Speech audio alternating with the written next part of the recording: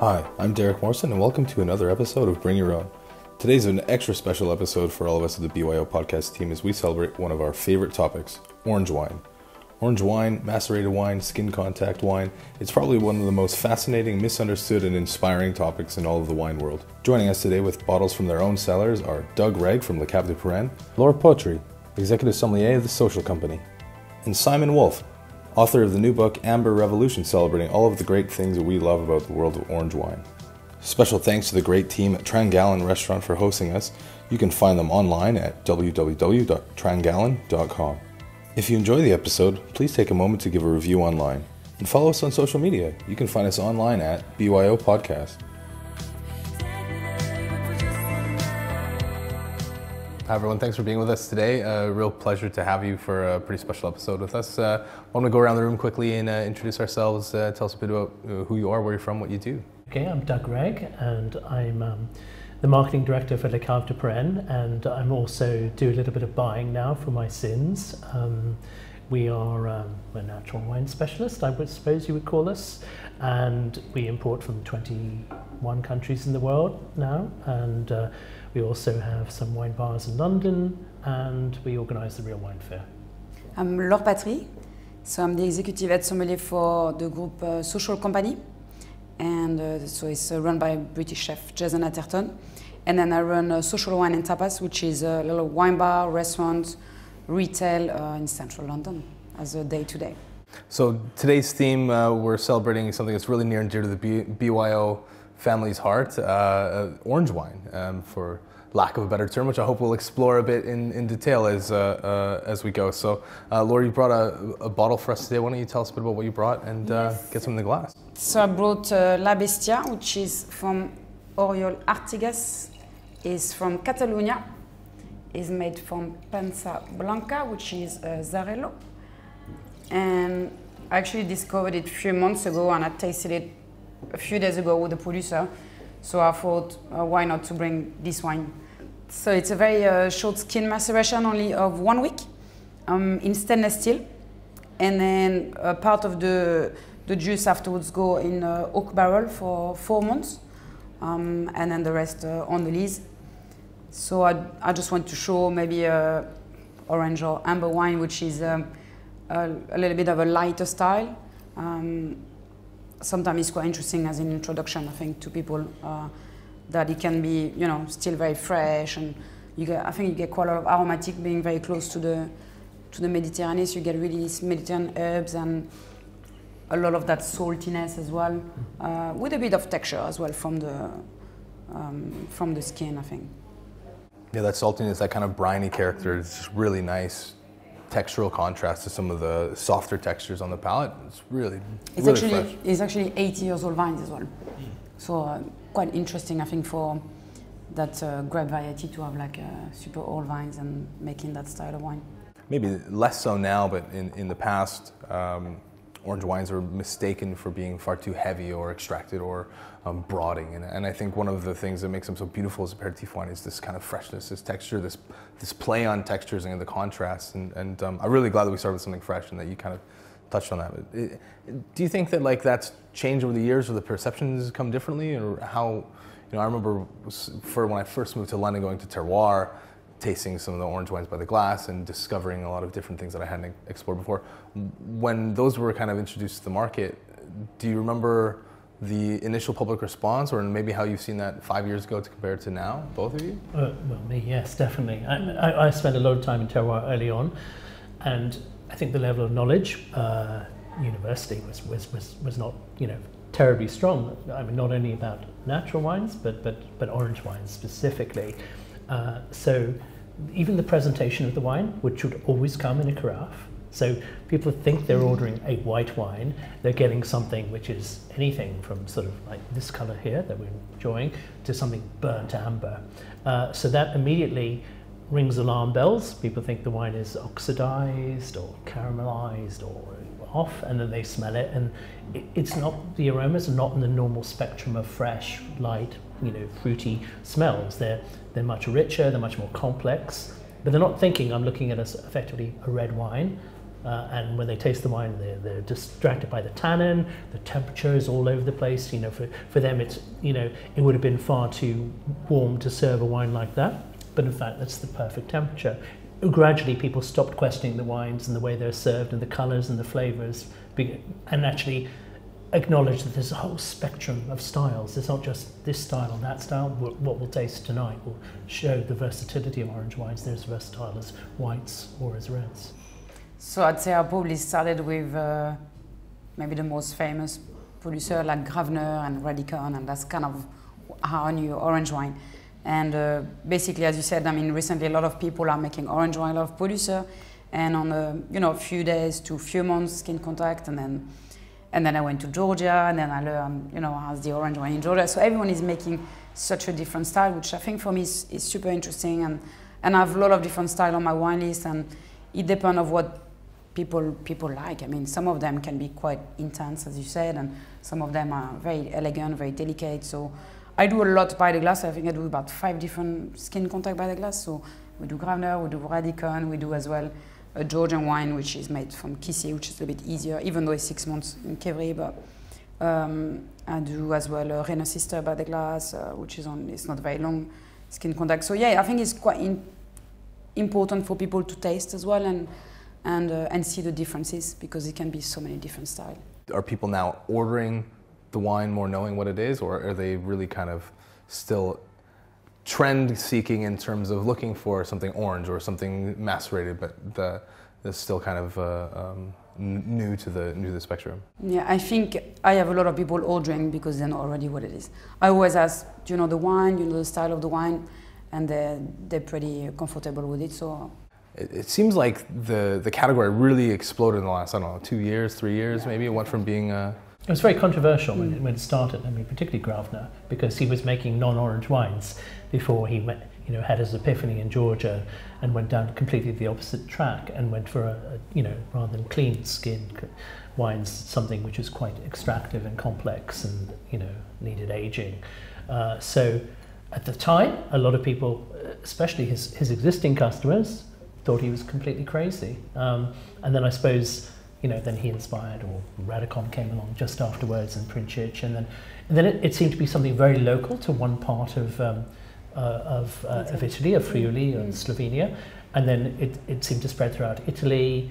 But it was spreading. It was going. It was returning to, to, to methods of making wine, peasant wine, vino bianco, as they call it, uh, you know, like yellow wine, which they've been making for hundreds of years. But we don't know what people were drinking then. But it was it was an obvious thing to do, just to chuck the grapes into a in, into a into a vessel of some sort, a pot or whatever it might be, and just ferment them on their skins. Yes. And now we're seeing a revival of that style and trying to, you know, people are innovating by going back into the past and and and trying to sort of revive those sort of flavors because they're really interesting uh, and they're very gastronomic as well. I'm sure you find. Yeah, it's very interesting. I mean, especially even for Michelin star, not for just a, you know wine bar as we places we go, but as well for Michelin star, you can have a small glass in the middle of a tasting menu, and it's a way to introduce to to customer and for them to understand the matching. Yeah. I think what's really exciting about wine in general right now is I feel like there's never been a time where we're more colorblind.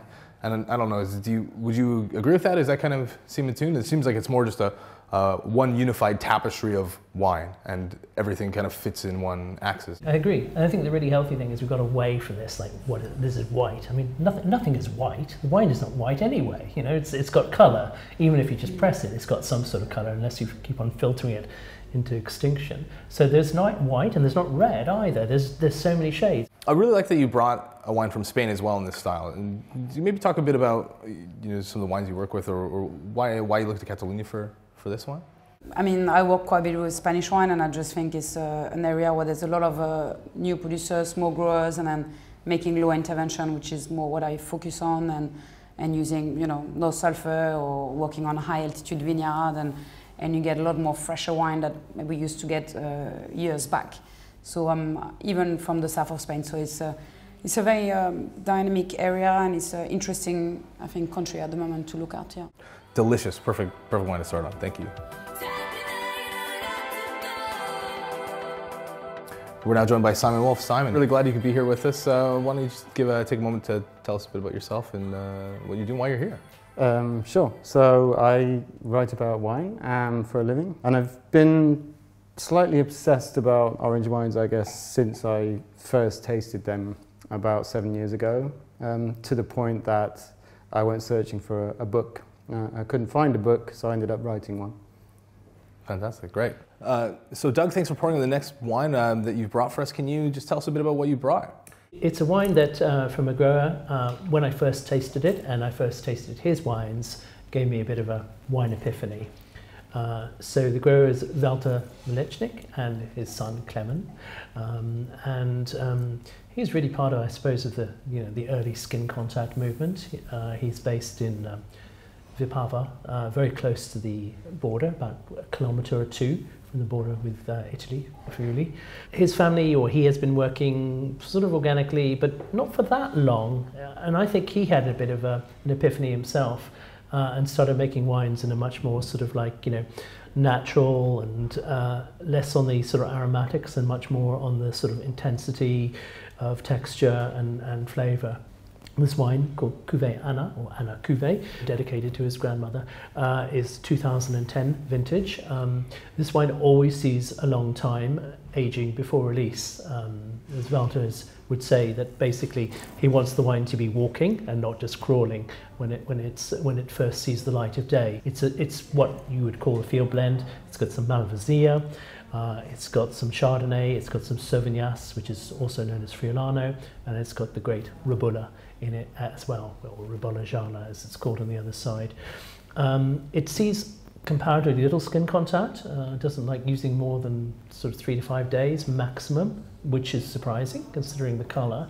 Uh, it does spend the best part of two years, maybe a touch more in, in barrel, 500 litres to 3,000 litres, and then the same amount or even more time in bottle, and then it's released, usually after sort of five, six years. And at that point, it's pretty harmonious, but still, there's noticeable tannin. There's lots of structure. And I like the interplay of the different grape varieties. You know, Ribolla is sort of like gives something sort of like the sort of bitter, bitter sort of fruits, and then you've got like freshness from the Sauvignonasse, um, sort of certain sort of aromatic quality. But they all sort of weave in and out. And as the wine opens up, I love carafing this and just drinking it over one day, two days, even three days. It holds its own beautifully. And sometimes it closes down and sometimes it opens up, to, which to me is one of the great attractions of orange wines or skin contact wines is they, is they just move in so many different ways. This wine to me is, is something really quite magnificent, quite beautiful. Well, um, I have to thank you for bringing this, Doug, because I think this, this wine and this vintage is really one of my desert island wines. I could happily drink this for many years to come because it's, it's, I think it's it's got it's got harmony, it's got elegance. That's um, that's what I really enjoy about this wine. It's got this really kind of soft, elegant power. I mean, this really deep intensity that's just really understated, if that makes any sense. It's got this wonderful tens- tension on the mid palate, but then as it finishes, it gets this kind of retro nasal licorice kind of character that just contrasts so nicely with like kind of the purity of it. It's really really cohesive, really beautiful wine. The, the, infusion, I mean, the, the idea like, you know, it's 12% alcohol, you know, but people when they look at it, wine in a glass, they think that's going to be a really powerful wine. Yeah. But its yeah. power is its refinement, it's its elegance, it's its understatement. And that's to me a real power. It's a sort of confidence uh, rather than just sort of trying to sort of bang you over the head and say, look how much is going on in the wine. It has that sort of in, mm. inherent structure, which, which, um, which is really, really becoming think what I, um, what I find interesting about this as well is I think the, the Ribolla is only 10% in the blend, but you can still feel the power of it. You, know, you can still feel the, the grunt and the structure. Yeah, I think Ribolla is, is one of the one of the great grapes, and, and sort of I think it become a noble grape now. Would you say uh, it's certainly 100%. highly regarded? Yeah.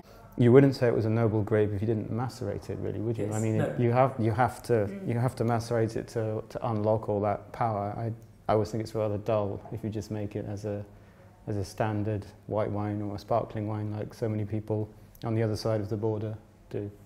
I thought it was going to be quite big actually when I tasted, like you said. It's a lot of truffle and, and nice, much more floral. Yeah.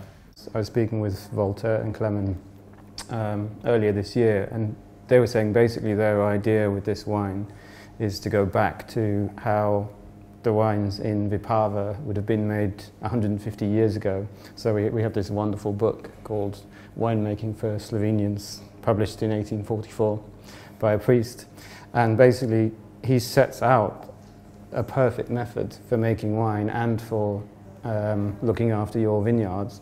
And that's what the Mlečniks have gradually gone back to bit by bit. And so he always says that in the Vipava Valley, this beautiful valley where this, this wine is from, it's four to five days is the, is the tradition there. Um, if you go a little bit further northwest, then that's where they really go for the, you know, a month or more of, of maceration. But I, I think in this valley, this is, this is the tradition and that's what they're, they're trying to express. And this is the blend as well. So every single aspect is really Yeah. rooted in tradition. It's got everything that I would look for in a great orange wine. It's got the acidity, it's got texture. There's still a suggestion of fruit. You know, it's all it's all there.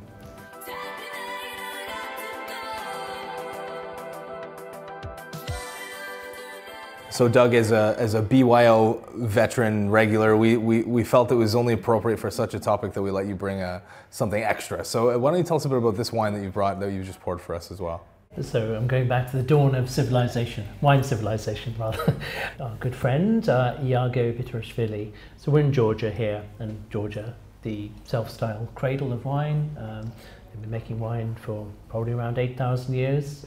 Iago is in um, a little village called Chardaki, which is in Kartli. Um, and they're slightly in the eastern part of Georgia. And the grape variety, the main grape variety in this region is called Chinuri, which is a sort of like quite light skinned and uh, quite a late ripening grape variety.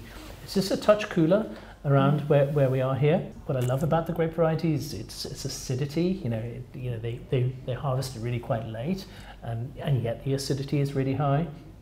Um, Iago himself does six months skin maceration uh, with full stems and, and pips and the whole lot. Everything goes in. So they, what they do is they crush it and then they add the the cha-cha, which is the, the marc or the pomace, you know, they add it back into the Qvevri. It ferments in its own time, naturally. Um, Qvevri are buried in the winery.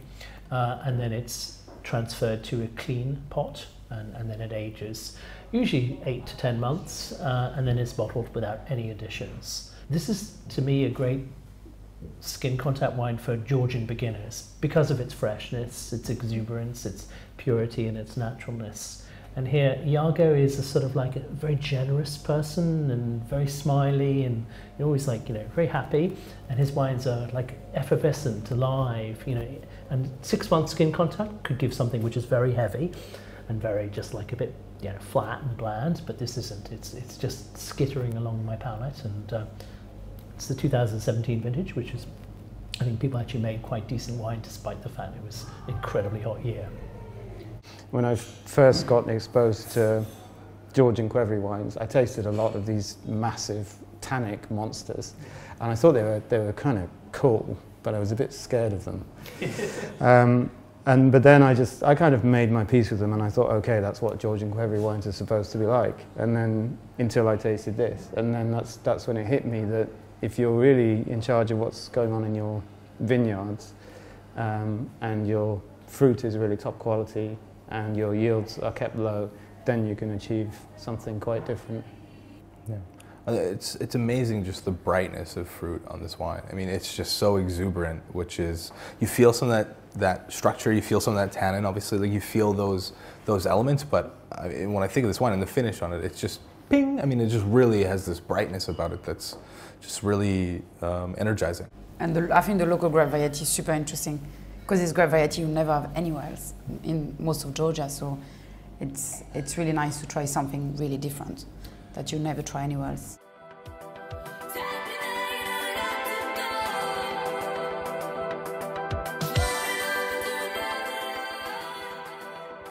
I brought the, the Erde 2015 from from Sepp Muster from from Styria in Austria, and um, I discovered this wine a few years ago when I was in Vienna at a buffets, and uh, I, the first thing that struck me was the bottle. Just it was sitting on the bar as part of the tasting. I said, I don't know what that is, but it's really interesting and it's got a beautiful um, artistic label. And I said, I just, I just want to try it. I mean, pure, pure judging a book by its cover, just a little bit of curiosity, and it was just a really kind of profound, interesting, challenging wine. And then as I got to um, know the wines from Muster um, more, I just fell in love with the domain and, and um, all the estates wines. And the the, uh, the is one of my personal favorites as well. And I just I just think it's such a fascinating wine that I that it, I had just such a ignorant discovery of, and I just felt so lucky to have stumbled across it that night. And and um, and so I always it always attracts my gaze ever since. So it felt like kind of a, a fun fitting bottle. And, and, and maybe Doug is uh, the, the, my dealer of, uh, uh, provider of this wine. Uh, maybe you can tell us a bit more of, uh, um, about it.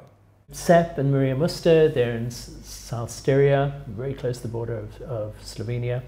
And um, it's got around sort of oh, 10, 15 hectares, um, planted to uh, different varieties, Sauvignon um, and Chardonnay and this is a blend of Sauvignon and Chardonnay.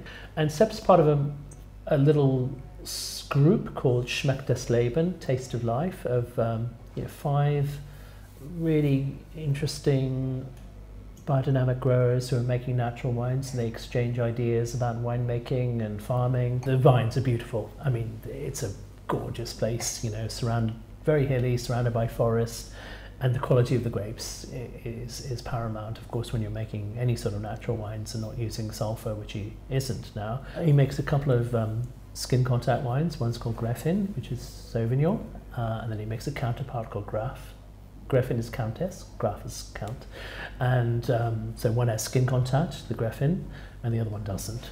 And then um, there's the Erde, which is 12 months on skins. This is from the 2015 vintage, which was um, in an area which is quite difficult to make wine, quite marginal, um, was probably the last, you know, reasonably large vintage uh, they had, although 17 was, was, was fair enough. He, he said like for every year in the barrel, there should be a year in the bottle before it's released. So normally he would like to age it two years in barrel and two years in bottle. He doesn't have the luxury. They don't. They don't make enough wine. The labels, I think, they're indicative of the wine. You know, so it's a bit like Rothko-esque if you look at it. Erde means earth. There's the there's the sun, you know, the sun, the light, the green, which is the which is the sun, which is the grass, the grass, and then the earth, which in the balance, this is the earth wine, so there's much more brown. So think of think of the vines penetrating this this incredible Opok soil, which is the name of the local soil, which is this Marni soil, and it has a profound effect on the wine. gives them gives them intensity and a richness, which we see in all the wines of Styria. They've got this huge mouthfeel, and yet they're not heavy. I mean, I, I, good kind of time to segue into a bit of your book, I suppose, um, aptly titled "The Amber Revolution." Um, you know, we've kind of taken a bit of a perfect. We've taken a bit of a journey, kind of across uh, across uh, across Europe, really, and, and then into into Georgia. Can you just tell us a bit about, as you've kind of gone across the different regions, what, some of the things that surprised you, or any anything that stuck, sticks out from respective regions? And we've tasted, you know, Austria, Georgia, uh, Catalonia. I think the the interesting thing is that first of all, if you if you go back a few hundred years in Europe, all white grapes were uh, fermented with skin contact. There there was no other way to make wine really, um, and I think at a certain point my research uh, became a bit circular because I just kept on coming up against the same thing. Well, of course, that's always how we used to make wine. The problem is it's, it's not documented very well. So there are really only two parts of the world where I can prove it, and one is Georgia, where we have this, this wonderful archaeological find going back 8,000 years, and the other place where we can say 100% is that kind of middle Europe, uh, Europe kind of part with bits of Slovenia and bits of Friuli and bits of Austria. And there, there are, there are, there's plenty of books uh, written where people say, oh, the people make their white wines like their red wines in these, in these strange regions. So I think there, there is history when you look for it in every corner that points to the importance of this style. I do want to say something about this wine as well because I think what's interesting to me is uh, Southern Styria is famous for its Sauvignon Blanc, uh, although nowadays most of the Sauvignon Blanc is made in a, a rather mainstream commercial style. But what I find interesting in Sepp's wines and his colleagues as well is that they all have Sauvignon Blanc in their vineyards and they all macerate it. And for me, it still it speaks of Sauvignon Blanc utterly, but in a different way. Um, it, for me, it's it's almost as if the the fresh aromatics that you get in a Sauvignon without the skins mutate into more pungent, more herbal flavors. But for me, they're utterly characteristic, and and I think you know the, the character of these wines is, is unmistakable once you've once you've had them. And that, that for me is one of the big takeaways with macerating white grapes. I mean, nobody says that, nobody says when you macerate red grapes that you, that you lose varietal character. Yeah. Uh, so why, sh- why should they say that about these wines, really? Definitely. Laura, you, you work quite a bit with some of the uh, wines from Austria, I believe, right? Yeah, And, I uh, love I love wine from Austria. I mean, I think last year I went there three, four times maybe, in my own in my own time, obviously. But uh, yeah, I think there's a, again a, revolution of um, you know natural producer there, uh, especially Burgenland area. And then I went to Styria, and now when I when I drink a bottle from Styria, I just think of you know the uh, the forest and the quite high altitude, and I always get that lemon thyme and you know a lot of aromatic, which I mostly got in those wines even though they're skin contact or not skin contact, they always have a lot of aromatic to me. Uh, I love this wine. I list it. Uh, I list a lot of their wines, and uh, yeah, it's very exciting area. I have a full page of wine from Austria. I think it's a, it's an ex- exciting region. I think the the price are very good as well uh, for you know for natural wine, for wine with low intervention, for wine producers that are risking you know sometimes an entire you know vintage of of making wine with no uh, with nothing added. So uh, yeah, a lot of hard work, and uh, but I think the wine are really show very well.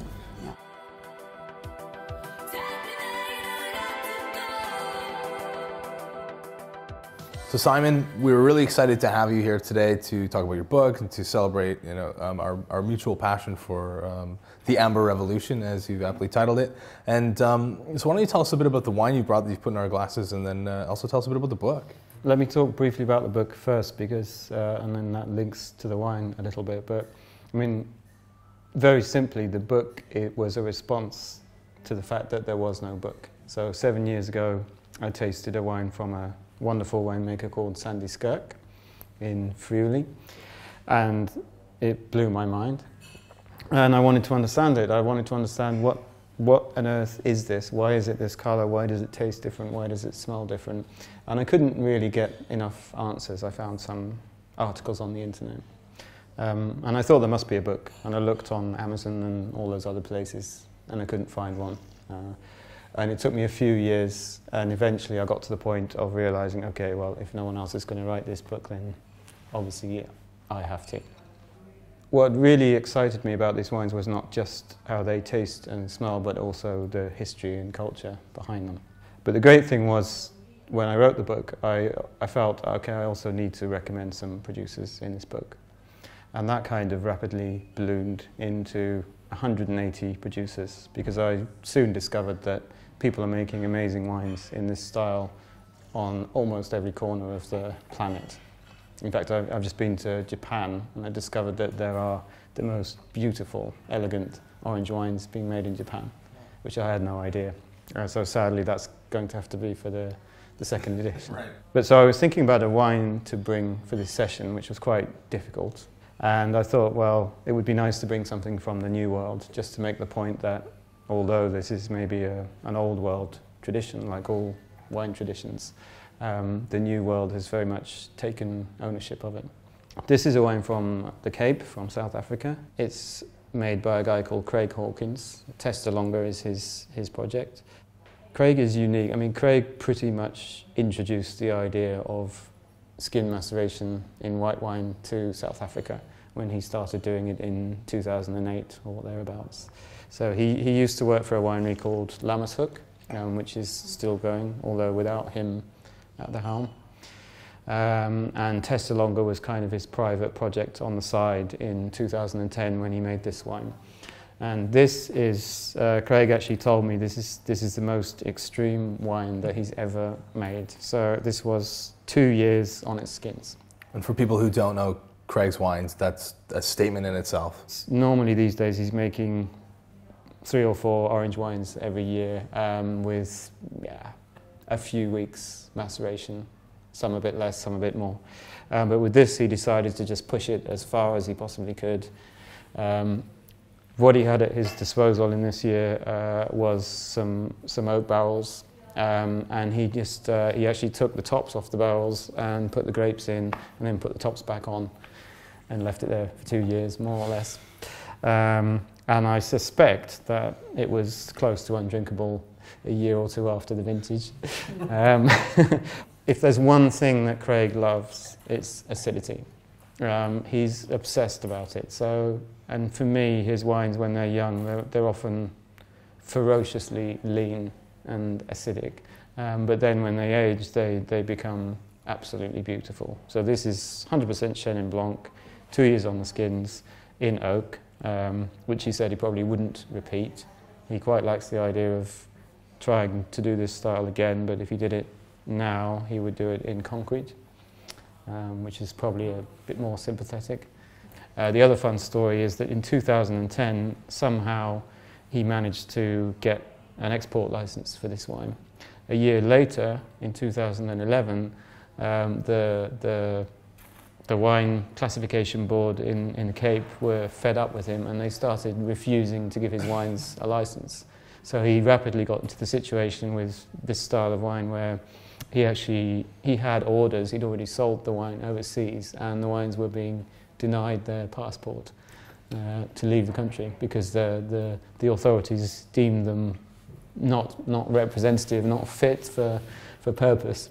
He was victorious in the end, so after his wines started getting refused their, their classification, their passport to leave the country, he and a group of his colleagues in, in the Swartland um, basically clubbed together and petitioned the, the authorities. And they managed to get uh, a new classification introduced for orange wines. I think technically they're called skin contact white wines in the legislation.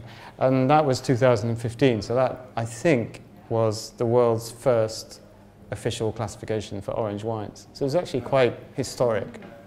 I was the one who wrote who wrote the letters of commendation about the wines, saying that we, because we were the largest, his export market effectively, we were the only people, the first people to take the wines. So we, we said the wines are incredibly popular. Uh, people love them. Journalists love them, even if that was not true. And so he would present the letter and as a recommendation, and they would go back and test the wines, and then it was okay. But the the board seemed to alternate between the skin contact wine, which they didn't like, but actually sometimes the skin contact wine went through, but not that one, and sometimes the, the unfiltered, straight pressed, clean Chenin was the one which was like held back. So it sort of alternated. So I kept the letter because why wouldn't you keep a letter and, and recycle it? Recycling is good. And I just basically just substituted the name of the wine that was being refused each each year. And then I found it wasn't just Craig, but it was pretty well anybody who made any unfiltered wine or off off ball wine. And Craig finally, as Simon said, he said, "I've had enough. Uh, there are so many people being refused wines, not just me. Then I'm going to like create this classification, uh, so that people at least understand." Uh, that the wines exist and they're intended. But one of the reasons why it's always refused uh, refused classification is, is, is the board would say the wines are not typical of the terroir of South Africa. But when you think of the cheap and nasty things that get through, which are nothing to do with terroir, they're industrial wines, then to sort of, you know, Craig who's working organically by hand with little bush vines, 40, 50 years old, on wonderful granitic soils in the Swartland, and then, you know, you know getting something out of the grapes. Um, the acidity thing is another interesting thing. And Craig picks by by taste, and when he pops the grape in his mouth, he says, "I like it," and everyone faints because they said, "No, you can't pick it out because it's way too acidic." And he said, "No, I love acidity." it sort of ricochets them out. And his early wines had this sort of like, I wouldn't call them green, but I would call them sort of tense to the point of like making your eyes slightly water. Um, but I love that in wines. I mean, I'm I'm I'm pro acid in, in wines, but but uh, some wine writers. Uh, when I when I uh, I point at tastings and I said like this wine is is uh, 12% or 11% or something like that uh, from the Swartland, you know, incredibly warm place. They said it's wrong. Wine should never be that light. You know, from the Swartland, they should all be 13, 14%. And I said, not if you farm well, you know, not if you're picking on, on the moment, which of course you're picking on, not on sugar levels.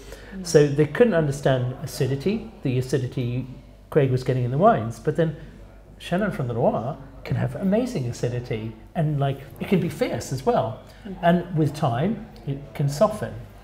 Unlike tannin, which can sort of not correspond to the fruit. Acidity is, is, is the backbone of a wine and gives it tremendous ageability. So even a wine, you know, this is 2010. I, when we bought the 2012, which was not released because Craig didn't think anyone would allow it to get out of South Africa, but we, we took it, you know, and we just sat on it. And the wines are spectacular, but there are probably still 10 to 15 years left in them.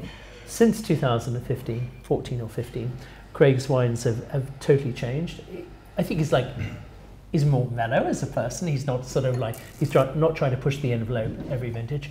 The skin contact wines are more 10, 12, maximum 15 days. He, he's working on one project. He's a lot more focused, and I think he's more like he's happier in life because he's not he's working for himself, and I think that also shows in in the relaxation of the wines. But I remember the very first time. Final little story.